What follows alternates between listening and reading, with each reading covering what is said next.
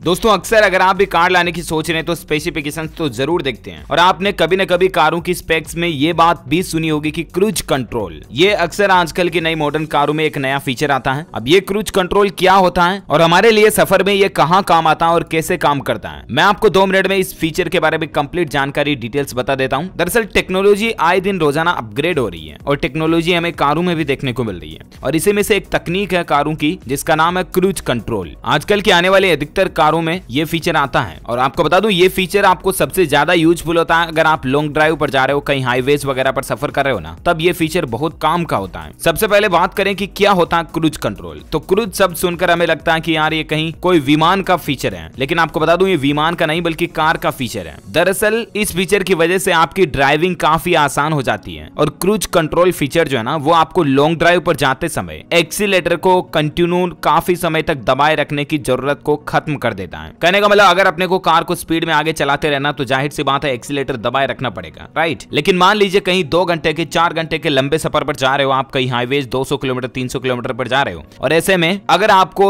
एक्सीटर को, यानी कि रेस वाले लीवर को, अगर परमानेंटली दबाए रखना पड़ेगा तीन चार घंटे तक के हाईवे के सफ़र में भी तो ये थोड़ा सा मुश्किल भरा लगेगा। राइट लेकिन क्रूज कंट्रोल फीचर आपकी इसी समस्या को खत्म कर देता है। दरअसल क्रूज कंट्रोल का मतलब ये होता है कि मान लीजिए, आपकी कार हाईवे पर एक बार एटी स्पीड पर कंटिन्यू चल रही है, ठीक है ना? या नब्बे की स्पीड पर कंटिन्यू चल रही है, अस्सी, नब्बे, सौ पर चल रही है। अब आपको एक्सीटर परमानेंटली दबाए रखने की ज़रूरत नहीं है। उस स्पीड पर जैसे ही आप क्रूज कंट्रोल बटन को दबाओगे ना तो आपकी कार एक्सीटर छोड़ देने के बाद भी उस स्पीड पर कॉन्स्टेंटली चलती रहेगी। और यही इस क्रूज कंट्रोल फीचर का मुख्य कार्य है। अच्छा ऐसे सिचुएशन में आपके मन में एक डाउट आ रहा होगा, सवाल आ रहा होगा कि फिर अगर कार को धीमा करना है तो फिर क्या करना पड़ेगा? तो आपको बता दूँ, चाहे क्रूज कंट्रोल ऑन भी है ना, तब भी मान लीजिए कोई जंप आया या सामने आगे कोई गाड़ी क्रॉस कर रही है, आपको स्पीड स्लो करने की ज़रूरत है तो बेझिझक आप ब्रेक प्रेस कर दीजिए। जैसे आप ब्रेक दबाओगे, गाड़ी की स्पीड स्लो हो जाएगी। लेकिन जैसे आप ब्रेक को वापस रिलीज़ करोगे, छोड़ोगे, गाड़ी की स्पीड आपकी क्रूज कंट्रोल की वजह से वापस 90 तक कंप्लीटली धीरे धीरे चली जाएगी। आपको रेस दबाने की ज़रूरत नहीं पड़ेगी। क्रूज कंट्रोल की हिस्ट्री की बात करें ना तो इसका आविष्कार कहाँ से हुआ? तो आपको बता दूँ, ये क्रूज कंट्रोल काफ़ी पुरानी सिस्टम वाली टेक्नोलॉजी है। कई रिपोर्ट्स ये बताती हैं कि इस तकनीक का इजाद ऑटोमोबाइल के आविष्कार से पहले ही हो गया था। जी हाँ आप ये सोच रहे होंगे कि फिर उसमें ये कहाँ इस्तेमाल होता था। तो आपको बता दूँ, वेबसाइट साइंस एंड बीसी के मुताबिक इस क्रूज कंट्रोल फीचर का आविष्कार मैकेनिकल इंजीनियर जेम्स वोट ने सत्रहवीं शताब्दी में ही शुरू कर दिया था। इसका इस्तेमाल सबसे पहले भाप से चलने वाले इंजनों में किया जाता था, जैसे कि ट्रेन वगैरह भाप से चलती थी ना तो वहाँ पर भी क्रूज कंट्रोल काम करता था। इससे इंजन की स्पीड जो है, वो स्टीम कम ज़्यादा आने के बाद भी एक निश्चित स्पीड में इंजन चलता रहता था। स्टीम वाले इंजन में इस तरह से काम करता था। लेकिन आज हम जिस क्रूज कंट्रोल का इस्तेमाल करते हैं ना, उसका इजाद 1940 में, यानी कि 1940 के दशक में हुआ था। खैर, जब भी हो, कुल मिलाकर के हमारे लिए बहुत काम का फीचर है। उम्मीद है दोस्तों, ये इन्फॉर्मेटिव वीडियो आपको ज़रूर जानने मिलेगा वीडियो को लाइक और शेयर करना। चैनल को सब्सक्राइब करके बेलाइकोन ज़रूर दबा देना। और भी आपके मन में अगर कार के किसी फीचर से संबंधित कोई सवाल है तो कमेंट करके पूछेगा मैं उसको भी एक्सप्लेन करने की ज़रूर कोशिश करूँगा। जय हिंद, जय भारत, वंदे